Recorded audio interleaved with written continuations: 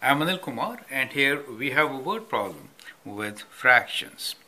Peter took 2 4 over 5 hour to drive to Niagara Falls and Sam took 3 1 over 4 hours for the same distance. How much longer did Sam take to drive than Peter? That means we are interested in difference of time. Sam took 3 1 over 4 of an hour and Peter took 2 4 over 5. So we need to find the difference between 3 1 over 4 and 2 4 over 5. Now how to calculate this difference?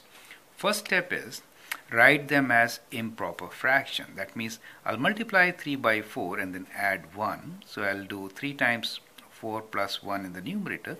Denominator will be 4 minus 2 times 5 plus 4 in the numerator denominator is going to be 5 so that is going to be my first step. So let's calculate. Is 13 over 4 minus 14 over 5 now to find the difference we should have common denominator. To make common denominator I have to multiply this by 4s and divide by 4 and here we have to multiply and divide by 5 correct? So we get the common denominators and now we can write this as 5 times 13 which is 3 times 5 is 15 and 1 65 over 20 minus 14 times 4 4 times 4 is 16 and 1 56 over 20 right? So we get now common denominators and then we can subtract the numerator right? So I'll subtract the numerators here. So we have 65 minus 56 over 20 right? So 20 is the common denominator. 65 minus 56 is 9 so we get 9 over 20 as the time.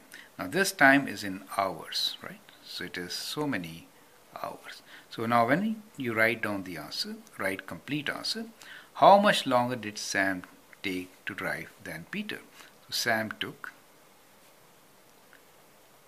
9 over 20 hours more, right? Now, at times, we may be required to convert to minutes, and that is what I'm going to do now. So we'll convert this hours to minutes. We'll say 9 over 20 hours. We could do this.